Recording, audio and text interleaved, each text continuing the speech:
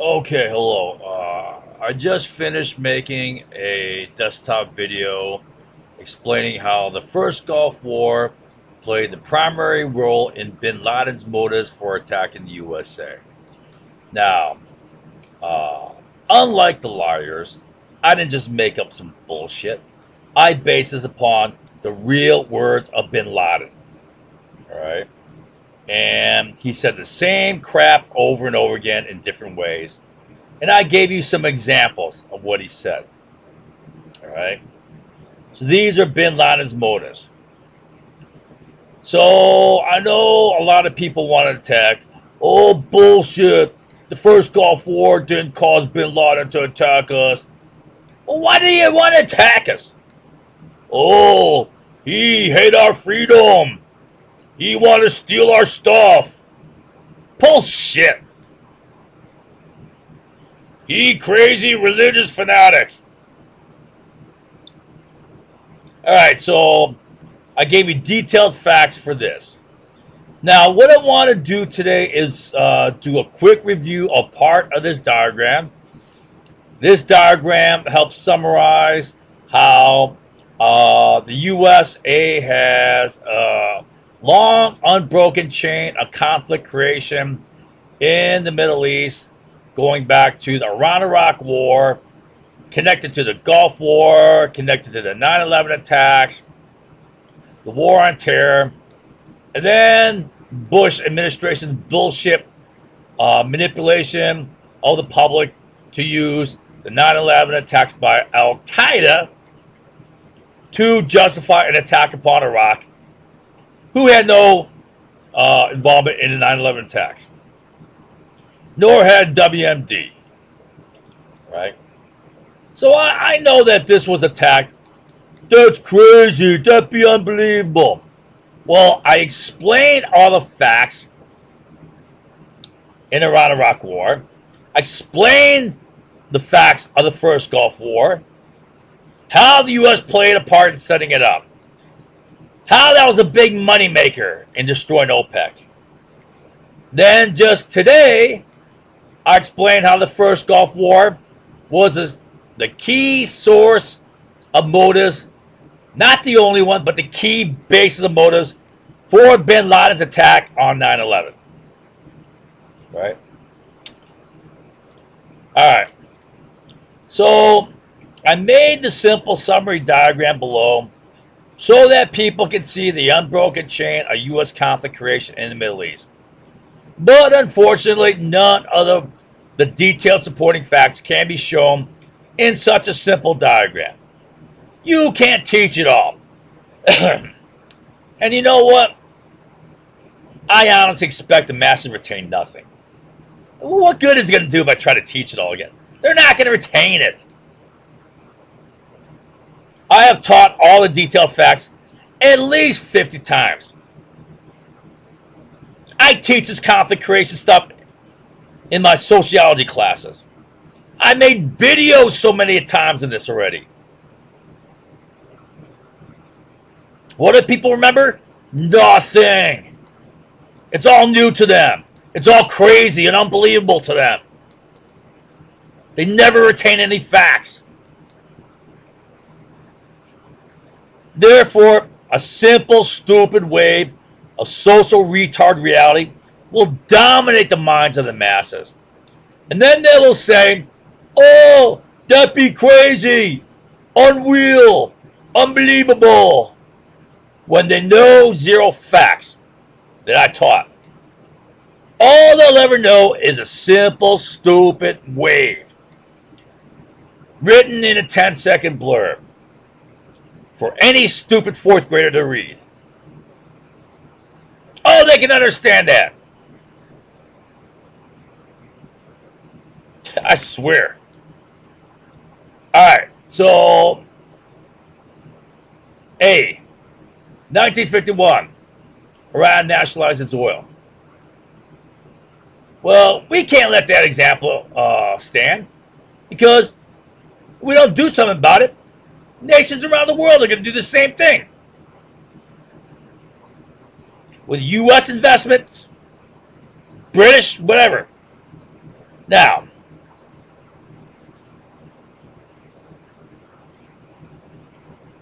I'm all for protecting investments. But at the same time, I know that with neocolonialism and colonialisms, those investments were pretty damn corrupt putting dictators in power. Leveraging them to get them to sign off concessions. Totally undemocratic. I don't want to get into details of that. So uh, you got to be honest about that. So we hold a coup, 1953, overthrow the Iranian democracy, install a dictator. Well, that, that created conflict, resulted in the 1979 Iran Revolution and their taking of our embassy and the hostages. Which drove Americans nuts. They're all pissed off. So, key event occurred in 1970. USA reached peak oil production. Then in 1971, Texas Railroad Commission set pro rationing at 100% capacity, which meant we lost control of oil price. I'm not going to explain it all again. Control of oil price went to OPEC. A couple years later, OPEC exerted their power, embargoed U.S. and some other countries, jacked up oil prices four times, killed their economy. Then another OPEC country in 79, right? Was the Iran Revolution resulted in oil prices being jacked up again. Three times. Killed their economy again. So right on the heels of the revolution, 1980, when Iran was weak, Iraq attacked them, resulted in the eight-year war. Our ally was Iraq and Saddam Hussein. Our mortal enemy was Iran. We hated them. And this war busted OPEC. Oil prices fell. Uh, what do I got the graph? They plummeted. I won't show you again. I've shown you that graph so many times. You should have it memorized by now. Right. Now, U.S. provided weapons and intelligence to both sides, ally and enemy, fueling the war. And a key outcome of the war was Iraq's economic crisis. So after the war, Iraq's economy was shattered, right? They were in bad straits. Plus, they got an $86 billion war debt. And these things became the key cause for the first Gulf War. Saddam's key motive for attacking Kuwait. Right? All right. So the Iran-Iraq War, right? U.S. provided Iran key weapons and intelligence uh, that led to Iran's success in their 1986 offensive, in which they took Iraq's Faw Peninsula. Right? That's Iraq's only access to the Persian Gulf. Now, they can't export oil. Iraq's screwed right? Uh, GH. So also with Iran occupying Iraq's Faw Peninsula, they're right on the border with Kuwait. And Kuwait's a small country with no defenses. So, who's right next to Kuwait? Saudi Arabia. This threatens both Kuwait and Saudi Arabia. Sunni nations start pumping out more oil. Right? I mean, they're the ones who are financing Iraq's war effort. Oil prices fall. Right? Then the whole Iran Contra weapons uh, hit the public in November 1986. All right, hit the press. And then in May 1987, the following year, the Iran Contra hearings for the Senate committee begin. Reagan administration is on trial. They're vulnerable. So Saddam takes advantage of that less than two weeks into the hearings, and he has an F-1 Mirage put two Exocet missiles into a U.S. ship, the USS Stark, causing the death of 37 U.S. sailors. Right? Payback for the crap we're doing. Why are we fueling this war? They, what, what, what do these Middle East nations who lack the technology or the industry to make sophisticated weapons, well, how do they get them? They buy them. With what? Oh, with money to grow off money trees. Hell no, they gotta sell oil. Right? Oil prices fall. Plus, they play economic warfare on each other with oil. I can explain all stuff to you. All right, so they whack the Stark. U.S. boys play for Reagan dirty dealings here. All right. Of course, Reagan administration denied any responsibility by saying, "Oh, it's an accident. It's an accident." Yeah, bullshit. Okay. Iraq must. So Iraq can't can't can't uh, pump out their own oil. They got to pump it to Kuwait. Now that they lost the Faw Peninsula, and then ship it out on Kuwaiti tankers. Well, you, you know that's going to piss off Iran. I'm losing my voice. I'll try to I'll try to push through anyways. So Iran knows that's an act of war. They start increasing attacks on Kuwaiti tankers. It wasn't much. Three Kuwaiti tankers attacked after fall. Two prior to that. Right. Five Kuwaiti. I mean, come on. Big scope of thing. That's nothing. All right. Uh, and then Kuwait seeks and gets U.S. protection in the form of U.S. naval escort, which results in nine engagements with Iran. Right. So, U.S. naval escort for Kuwait tankers is a clear act of war. I mean, those tankers are, are carrying Iraqi oil. You got to be stupid to not think, oh, that's not an act of war. You're directly aiding and abetting a combatant in a war. That's an act of war.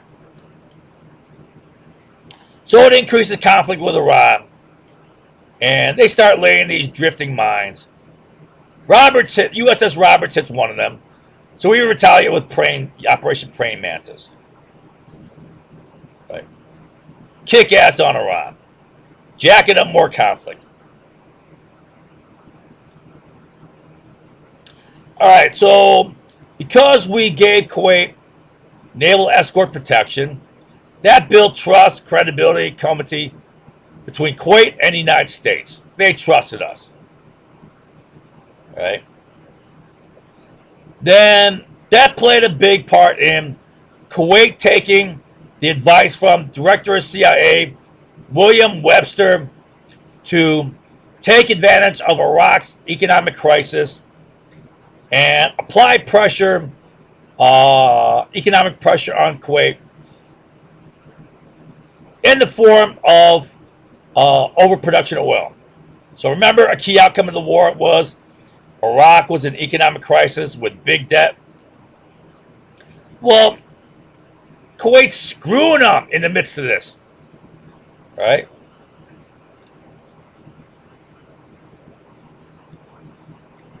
All right. So that that causes Saddam to get pissed off. right? We're in bad shape and you're screwing us. So Iraq warrants Kuwait four times stop overproducing and paying 2.4 billion in stolen oil. Right? And they and Iraq accused Kuwait of being a US puppet who conspired with the US to hurt the Iraq economy. Right?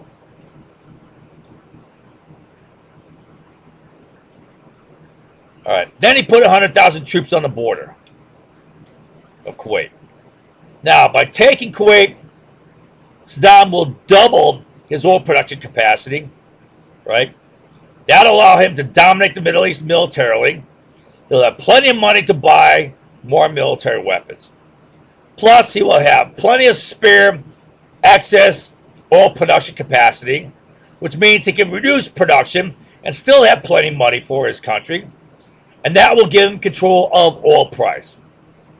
Both of these are strategic disasters for the U.S. Only an idiot would allow that. It's crazy stupid to allow Saddam to dominate the Middle East militarily and to have control of oil price. All right. So Saddam also had other bullshit reasons for invading um, Kuwait, right? Stealing oil with slant drilling, um, theft of 700 acres, right? Crap like that. Kuwait belonged to Iraq historically, all that crap, right? So he's got a bunch of reasons, right? One, Kuwaiti overproduction, right? Two, I think his real reason is he wants to get Kuwait's oil. It's going to make him the military powerhouse in the Middle East, and he's going to get control of oil price. And then three, the USA Bush administration gave Saddam three absolutely clear green light signals. No doubt about it. Insane. Stuff you would not say at any time, let alone after Iraq makes four threats to attack Kuwait and puts 100,000 troops on the border. Then, right away, you turn around and give three green light signals? Bullshit. Given the fact that the U.S. was behind uh, getting Kuwait to overproduce guaranteeing their protection. And then we leave them hanging out to dry with three green light signals. If that doesn't look like the setup to you, you got to be brain dead. You cannot think. Oh, no, conspiracy theory. That's conspiracy theory. No one that smart.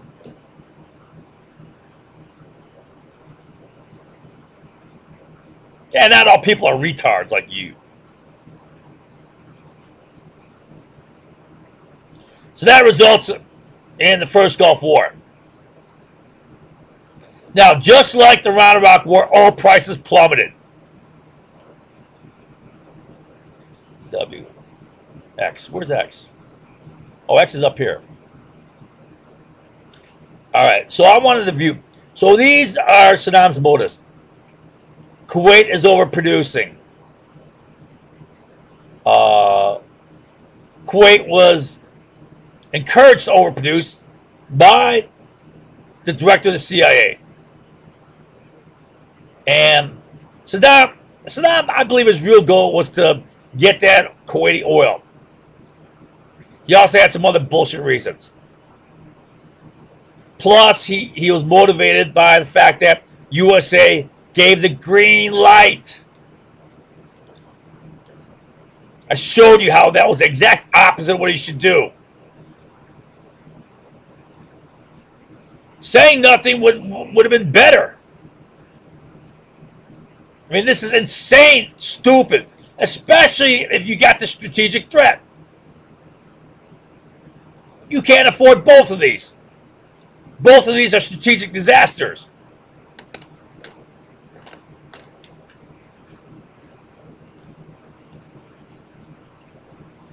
All right. So the big effect of the Gulf, first Gulf War was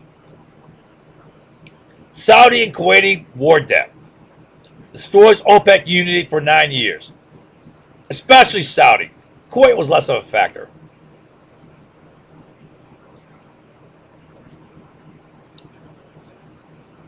Caused oil prices to fall at a time when they should have been climbing due to USSR falling, Russian Russian oil production cut in half, loss of 5.5 million barrels per day. That's huge. It's a massive loss.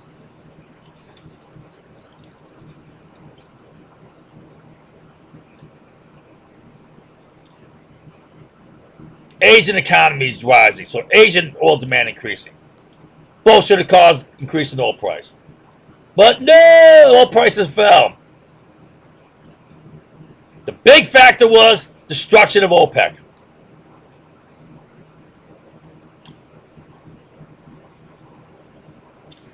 All right, so between 1991 and 98, seven years, he had seven years of WMD inspections.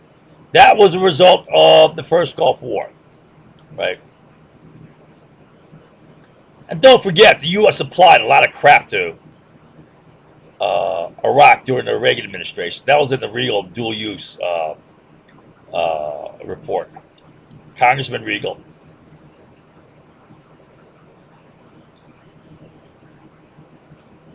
And then all the dirty games the CIA played with WMD inspections. While all the while, 567,000 Iraqi kids were, were dying due to the WMD-based economic sanctions, right? You can sell no oil, they said to Iraq. They sold a little. I think it was 400,000 barrels per day. That's about a tenth of what they normally produce.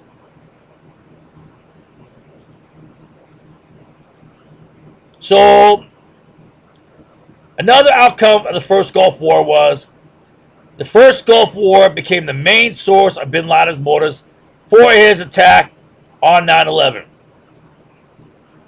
He had six main motives.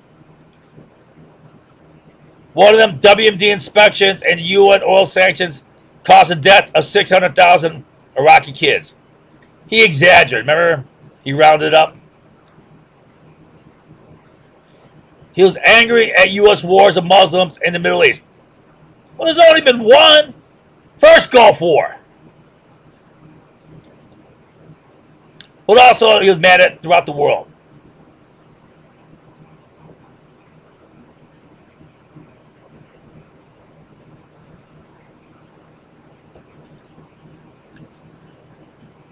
Pissed off at permanent U.S. occupation forces in the Middle East to steal air resources and wealth. That means oil. U.S. Saudi collusion to lower oil price. That was kind of bullshit. What it really was was Saudi war debt, right? They can't cut back production. They got to keep jacking out oil. Kept oil prices down broke OPEC unity. OPEC's in chaos. Everyone's over overproducing. Oil prices are falling. That means less revenues for Saudi Arabia. That means they eventually made welfare cutbacks, and the Saudi standard of living was cut in half. Twenty-five thousand per family on average, cut to thirteen thousand. Their incomes are cut in half. Saudi Arabia is a big welfare state.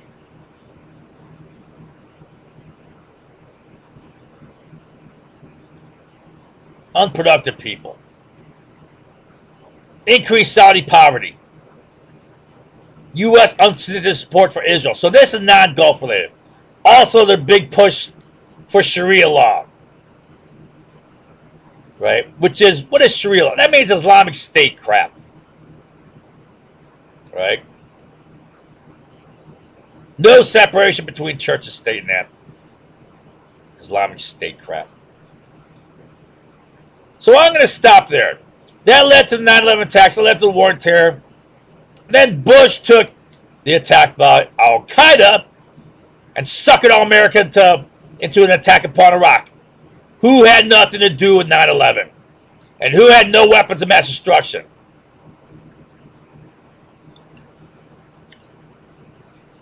All right. I'm going to stop there.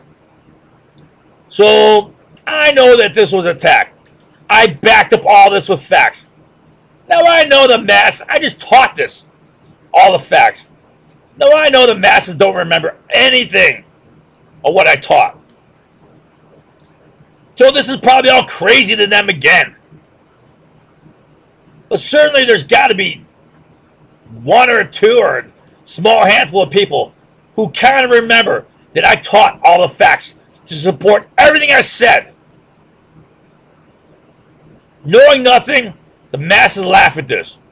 That's crazy. That's unbelievable. Let's make a joke. That's the reality. Retard reality. Based on nothing. No, I can't teach all the facts again. And what good would it do because you won't remember any of it anyways? Nothing's going to stick. It's hopeless.